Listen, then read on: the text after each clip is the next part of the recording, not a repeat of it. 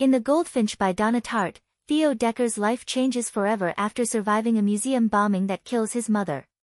He finds himself in possession of a stolen masterpiece, The Goldfinch, which leads him into a whirlwind of loss, drug abuse, and deceit. As Theo grows up, he faces constant turmoil, from his turbulent relationship with his estranged father in Las Vegas to a desperate search for the painting's safety. Alongside his complicated friendships and troubled love interests, Theo struggles with guilt and identity. Eventually, his journey leads him to confront his past and make amends with those he wronged.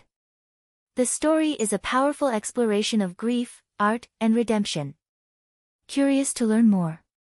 Explore the description below for the link to this book and limited time access to thousands of books for free.